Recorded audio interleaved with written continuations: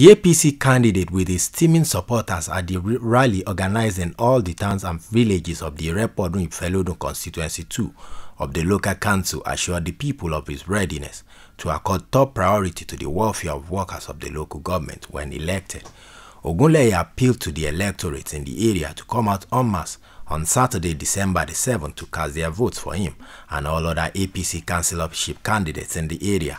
Under agriculture, I, I will try my best to promote the agriculture.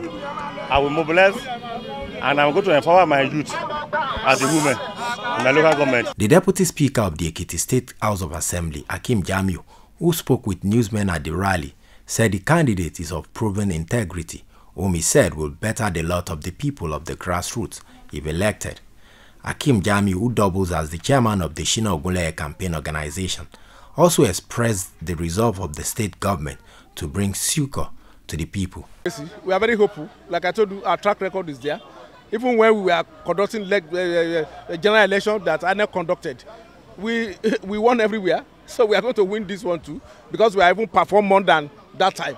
It's our performance that is our selling point. So so we are going to win. Femi Akindele, who is representing the state constituency 1 at the state assembly in the area, told newsmen that the state governor Kayode Fayemi has provided a platform for all APC candidates in Saturday's local government elections to succeed through his various policies and programs. Yes, Honorable Shina Ogunleye, you know, he's not, he's not just a stranger and he's a product of a system.